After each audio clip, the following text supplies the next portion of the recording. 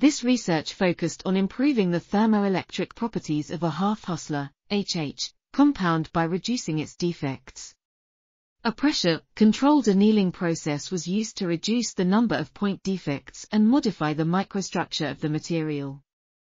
As a result, the carrier mobility increased by 100%, leading to a maximum power factor of 78 WCM, 1K, 2 which approaches the theoretical value for a single crystal of the same material.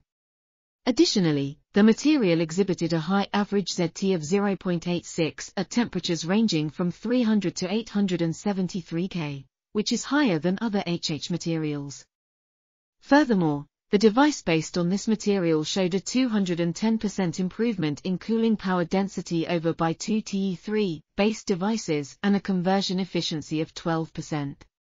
This research demonstrates a promising strategy for optimizing HH materials for near-room temperature thermoelectric applications. This article was authored by Hangtian Zhu, Wenjie Li, Amin Nozariasbmarz, and others. We are RTCL.TV, links in the description below.